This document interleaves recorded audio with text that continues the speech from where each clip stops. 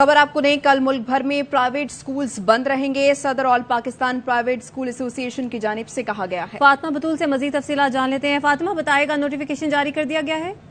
जी आज जो है जो हंगामी सूरत हाल पेश नज़र रही है उसके हवाले से तमाम कल जो मुल्क भर के प्राइवेट स्कूल हैं वो बंद रहेंगे। इसका ऐलान जो है वो काशिफ मिर्ज़ा की जानब से किया गया है। आ, सदर all Pakistan private school federation ने यह भी कहा है कि साता तलबा स्टाफ और वालदेन जो है वो हंगामी सूरत हाल के पेश नज़र पुरअमन और एहतियात इख्तियार करें और इसी वजह से जो है कल आ, स्कूल जो है वो बंद रहेंगे।